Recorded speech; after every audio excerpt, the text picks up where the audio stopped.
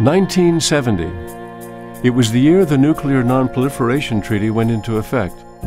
Gamal Abdel Nasser, the most powerful figure in the Middle East, died in Cairo. American troops expanded the Vietnam War into Cambodia, and the UN General Assembly voted to isolate South Africa for its apartheid policies. The International Peace Institute, IPI, began life in that pivotal year as the International Peace Academy, or IPA. It was founded by Ruth Forbes Young, an American philanthropist and anti nuclear weapons activist, and its first president was Indar Jit Rikhye, an Indian general and UN military advisor who had been a troop commander in an early emergency peacekeeping force. Introduced to one another by Secretary General U Thant, they hit it off right away. I was very enthusiastic of your ideas from the moment you came because uh, I had been thinking about the need for there being some form of a institute where the UN diplomats and military officers and civil servants could go and learn the art of negotiations and peacekeeping. And Ruth came with exactly the same ideas, and therefore uh, it was uh, meeting uh, common ground between us. The term peacekeeping is not mentioned in the UN Charter, and creating missions was a tricky business because of great power rivalries on the Security Council.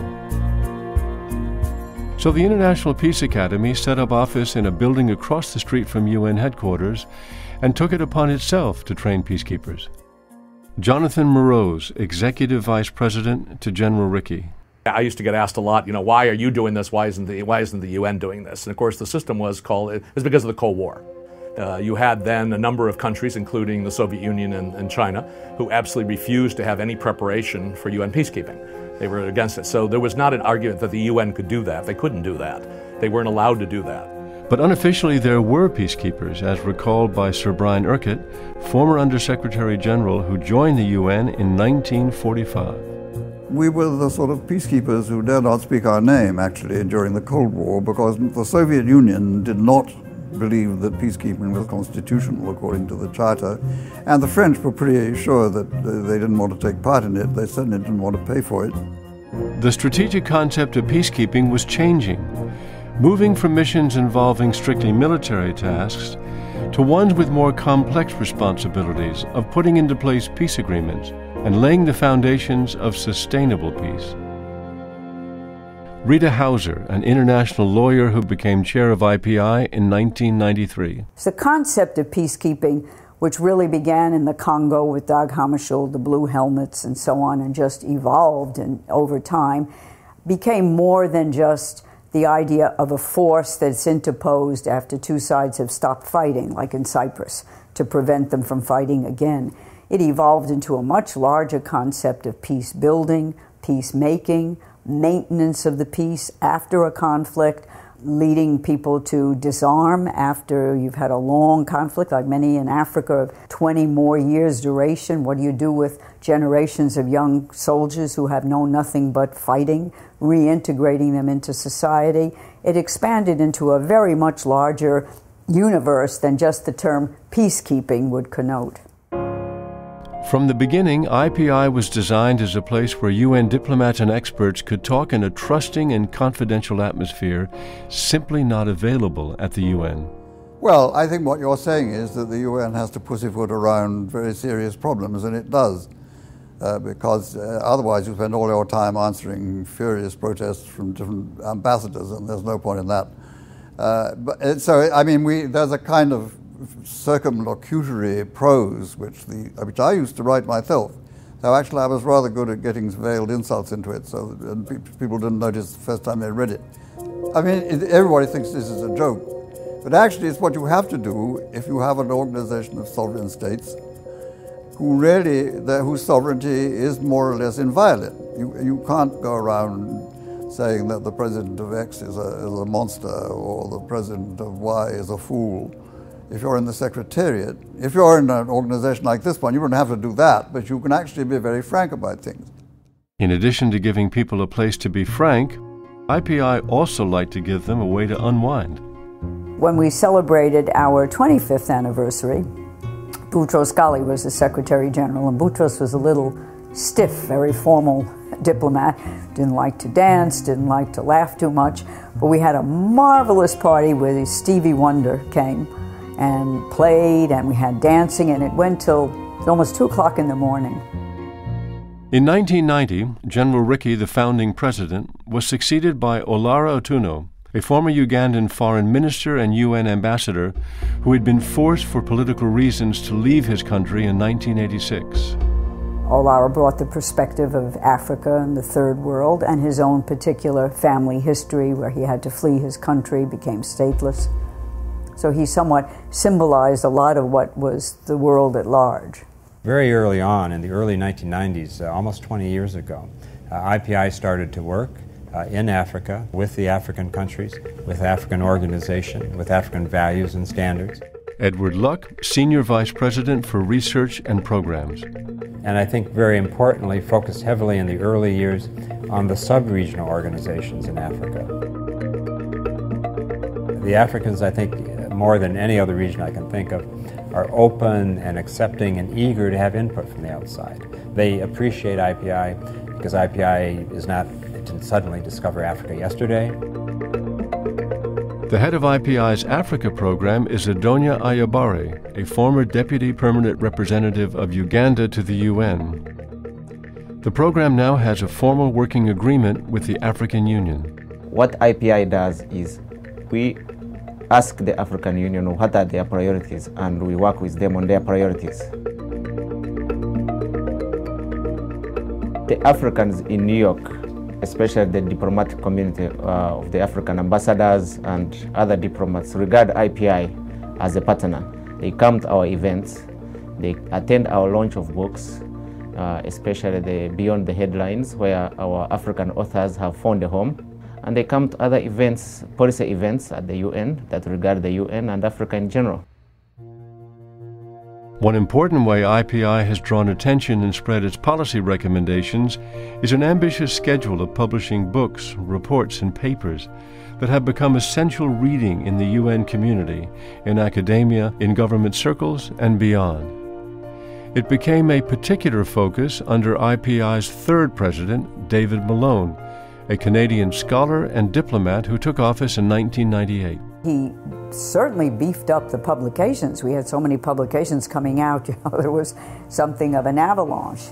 Uh, the book we wrote on a decade of sanctions, how sanctions work, why they don't work, where they failed, has pretty much become the Bible on sanctions and is quoted all the time when sanctions are contemplated. It's even figured in the debates now on sanctions on Iran that are being discussed. To broaden its outreach and enhance its convening power, IPI created a state of the art website and inaugurated its Trygve Lie Center meeting hall. The number of events there doubled to more than 100 per year. The center has also been the setting for private dinners, bringing together Security Council ambassadors and visiting national leaders from conflicted areas like the Middle East, and for addresses by heads of government and ministers and appearances by noted authors and international speakers. Every year since its founding, IPI has held a high level seminar in Vienna, which assembles people from around the world to advance IPI's international policy agenda. Michael Doyle, Vice President and Senior Fellow under Olara Otunnu. There was no comprehensive either doctrine or experience that uh, officers could go through to prepare them to be good peacekeepers. They all came from their own separate militaries. And the Vienna seminar was in the gentlest possible sense of that term, a boot camp that brought together senior officers to talk with each other, hear even more senior UN figures from the heads of peacekeeping.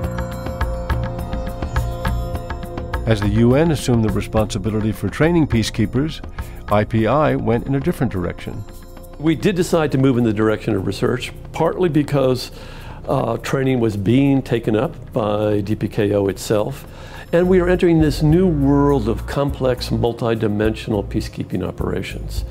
Where the days of monitoring a green line, difficult and important as that was, were changing into something of the equivalent of peace building. That is, trying to, first of all, persuade factions to come to a, a viable peace agreement, and then helping to implement that with a view to creating a self sustaining peace. The purpose was for these ideas to be of some use in the development of policy by member states of the UN and regional organizations, but also, of course, by scholars, by NGOs, uh, and others. And in that, I think we were quite successful, and I think IPI continues to be very successful in that area today. In 2008, IPI dropped Academy from its name and became an institute, reflecting its dedication to research. As a sometime academic, I very much appreciate the difference between traditional academic research, which is very important in its place, and the kind of policy research that IPI does. Because IPI is obviously very concerned about practice. We're very concerned about making a difference not just a difference in terms of ideas and, and research and footnotes, uh, but a difference in terms of the policy process and policy outcomes. Basically, our research agenda at this point is in four parts. Uh, one has to do with the core issues at the UN, the core competencies of peacemaking, peacekeeping, and peace building. That's traditional, that has to be there.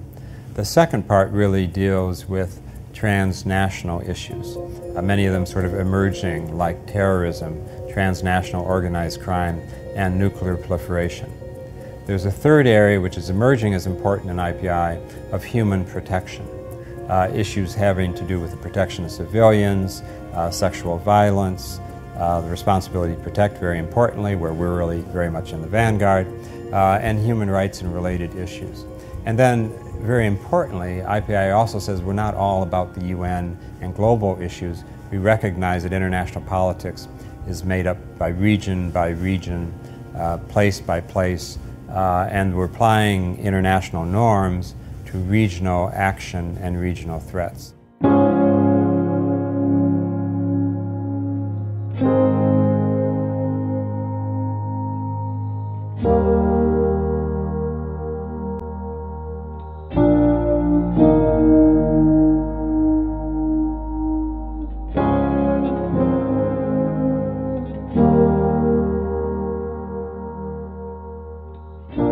One of IPI's distinctions is its close working relationship with the UN.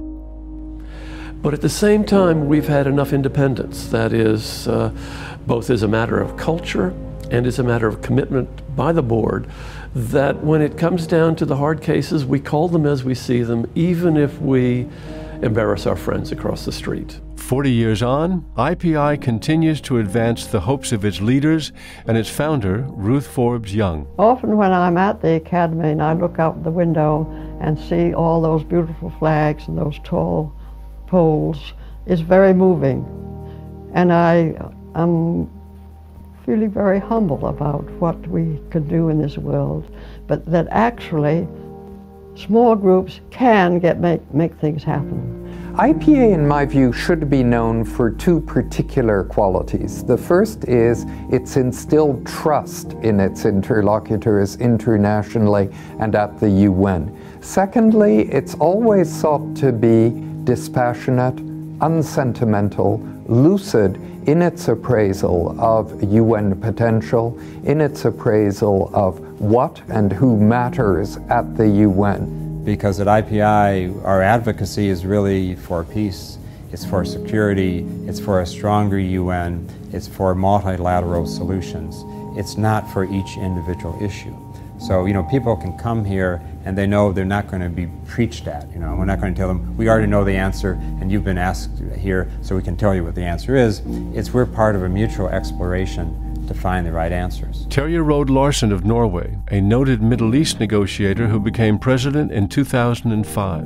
We are going through deeper changes in history than ever, technologically, demographically, economically, politically, uh, institutionally. But in addition, these changes are incomparably happening faster than ever.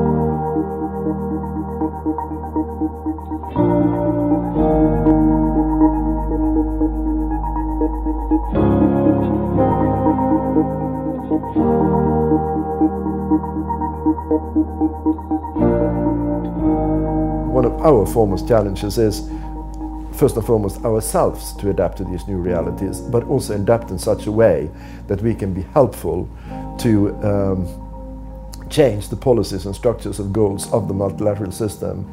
I think IPI serves a marvelous function. It serves a UN community, it serves a diplomatic community, has a discrete function, it deals with a set of issues and has become very expert in them, brings together academics, practitioners, UN people in a unique way. In my view, it's a little mouse that really makes a big noise.